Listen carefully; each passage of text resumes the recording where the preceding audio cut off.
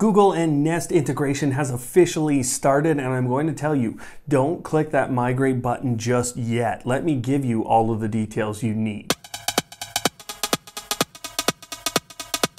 Hello, automators. Thanks for tuning in again. I'm Brian from Automate Your Life, and today I'm going to take the frustration out of automation by ensuring you have all the details you need for this latest option to come from Google and Nest.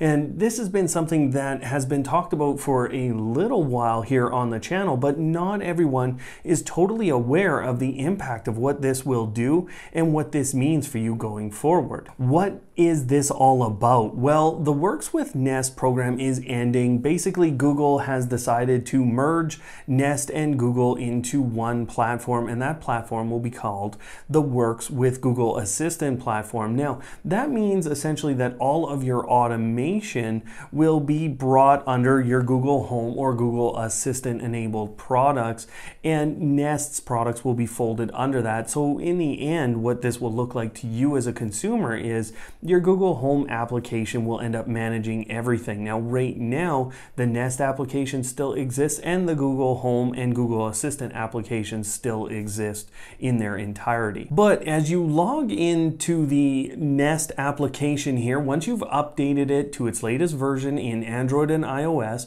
what you're going to find is a screen pops up and it says, hey, do you want to migrate your account to a Google account? So stop using this Nest account because it's not as secure, it's not as private. We want to give you some, some better functionality functionality here in the future. So go ahead and migrate that account. Now, I'm going to tell you to pause right here, put on your brown pants, and hit the not now button so I can show you what it is you're about to lose as you do this. So up in the top right of the Nest application, you're going to hit the settings button and then you're going to scroll down to the Works with Nest program. And once you go inside of there, anything listed here will lose the connectivity to your Nest products. And what that also means is you're about to lose all of the automations that you've set up. So, you know, for example, here in my home, I had if this then that in this list. I also had something related to my action tiles with SmartThings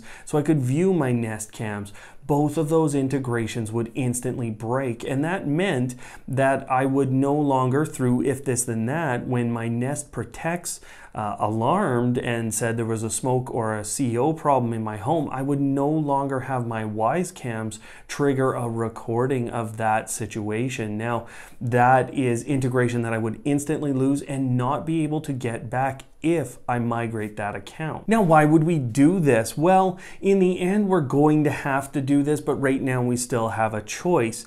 What Google is telling us, and if we take them at their at face value for what they're saying, they're saying the Google account is better at privacy and security. And I will tell you that, you know, reading a number of reports, also seeing how the two-factor authentication works with the Nest accounts versus the different ways that I can authenticate with Google accounts.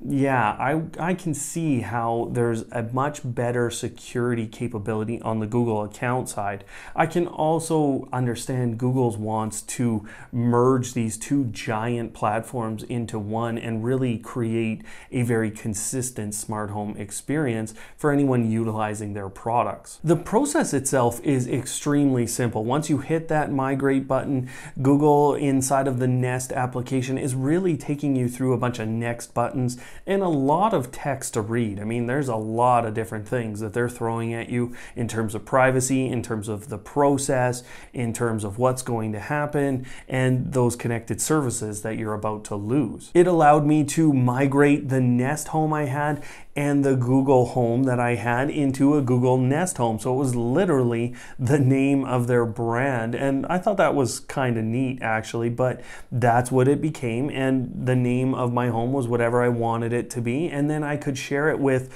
either sets of the individuals that were shared within either application. So for me, my wife has access in the Google Home application, but has never used the Nest application. But now with the migration, she has access to all of the different devices. But what did this mean for the applications? Well, the short answer is Nothing. The Nest application did not lose any features. It did not lose any screens. Nothing really changed inside the Nest application except for the account page where it said I had a different account that was logged in there.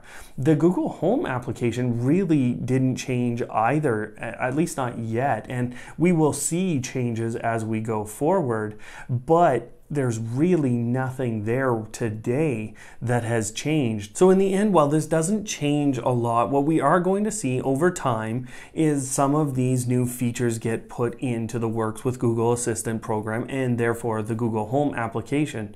Now, once they've replaced a lot of your uh, capabilities that you have in that Nest application, you should receive an email from Google. So they will actually tell you once they've replaced some of these integrations. And there are a few that they've already done some work with. The Home and Away program, nope, not done, early 2020. But if you read some of the fine print, it looks like routines are going to get some of those adjustments we've all been looking for, where we get some of that automation capability where we can trigger off of events in our smart home and trigger devices to do different things or trigger modes like home and away. Now, the if this then that capability, really that also wasn't talked about. Something that already has a replacement is Amazon's voice assistant. So if you go ahead and you do the migration, you actually have to then go inside of Amazon's voice assistant application, disable the old Nest skill and go to the Google Nest skill or go find the new Google Nest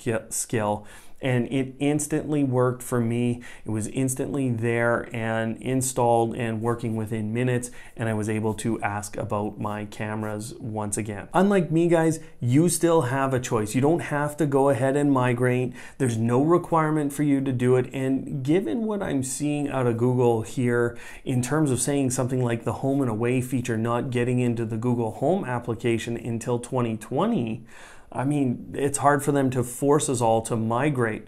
Now, what's happening on August 31st is you will no longer be able to create any new automations or any new connections with your Nest products. That will be locked down. Anything you have right then and there that is still integrated with Nest will continue to work until you migrate or until we're forced to migrate. So, again, I think Right now, you hold off, and as we go here on Automate Your Life, I will keep you as up to date as I can with the new features. You're going to be able to see them through me, and I'm going to be able to recommend when it is time to go ahead and migrate that account. Now, the other component for you is if you're worried about some of the security and privacy issues, Google's giving us more control over privacy and those security issues.